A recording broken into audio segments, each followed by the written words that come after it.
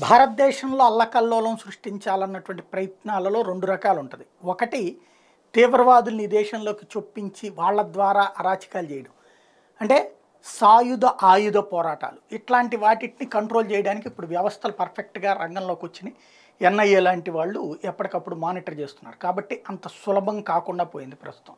దీంతో రెండవ మార్గాన్ని ఎంచుకున్నారు. అందులో భాగమే మన దగ్గర హిజాబ్ వివాదం సృష్టించడము లేకపోతే కనుక టిప్పు సుల్తాన్ వివాదం సృష్టించడము అంటే మైనారిటీలని రెచ్చగొట్టడం అండ అని వాళ్ళల్లోనే కొంతమందికి కాస్త భావోద్వేగాలు ఎక్కువ ఉండే వాళ్ళని రెచ్చగొట్టి వాళ్ళ చేత ఉద్రిక్తతలు సృష్టించడం యువకులని చెడగొట్టేటువంటి ప్రయత్నం చేయడం యువతరాన్ని ఈ దేశంలో మీకు సరైన రక్షణ లేదని చెప్పే ప్రయత్నం చేయడం. ఆఫ్ఘనిస్తాను పాకిస్తాన్ లాంటి పరిస్థితులను గురించి ఎక్స్ప్లెయిన్ చేయకుండా ఇక్కడ ఉన్నటువంటి వాళ్ళకు ఉన్న స్వేచ్ఛని లేదని వాళ్ళ చేతనే చెప్పించి ఒక అభద్రతా భావాన్ని సృష్టించడం. ఇదొక కుట్ర. మూడవ కుట్రకి ఇప్పుడు అంకం తెరలేస్తుంది. ఏంటంటే విదేశాలలో నుండి ఇప్పుడు ఎవరైతే ఈ ఆల్గారిథమ్స్లో జాతీయవాదులు ఎవరు? తర్వాతన అంటే నే ఇండియాకి ఫేవర్గా ఏమి ట్వీట్లు వస్తుంటాయి ఏమి ఫేస్బుక్ పోస్టులు వస్తుంటాయి ఏమి సోషల్ మీడియా పోస్టులు వస్తుంటాయి అనేటువంటిది ఐడెంటిఫై చేస్తుంది ఒక గ్రూప్. వాళ్ళు విదేశాలలో ఉన్నటువంటి వాళ్ళకి వీళ్ళ డీటెయిల్స్ పంపిస్తుంటారు.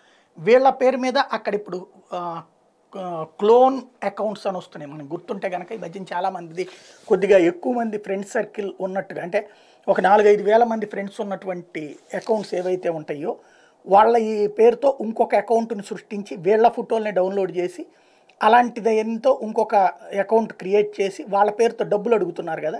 ఇవి నైజీరియా ముఠాలు లేకపోతే ఇంకొక కొన్ని ముఠాలు ఉత్తరప్రదేశ్లోనో బీహార్లోనే ఉండి చేస్తున్నటువంటి.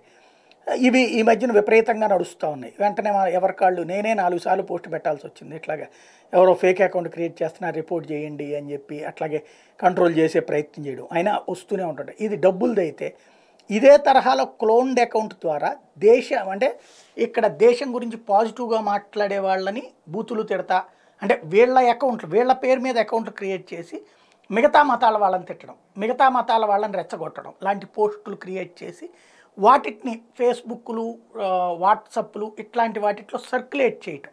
ఇది కొత్త కుట్ర. దీనికి రంగం సిద్ధమైంది. ఇది ఈ మధ్య కాలంలోనే బయటపడినాయి. కా- దాదాపుగా పదిహేను ఇరవై మంది ఇష్యూల్లో వాళ్ళు పెట్టలేదు పోస్టు.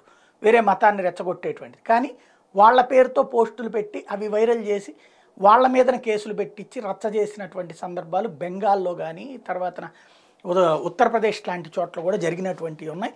ఇది క్రమంగా ఎందుకంటే మనకి ఏదన్నా ఒక నెగిటివ్ది కనబడగానే ఇమ్మీడియట్గా మనకు వచ్చిన ఒక అలవాటు ఏంటంటే స్క్రీన్ షాట్ తీయడం లేకపోతే కనుక దాన్ని కాపీ చేసేసి వైరల్ చేసి పడేస్తున్నాం.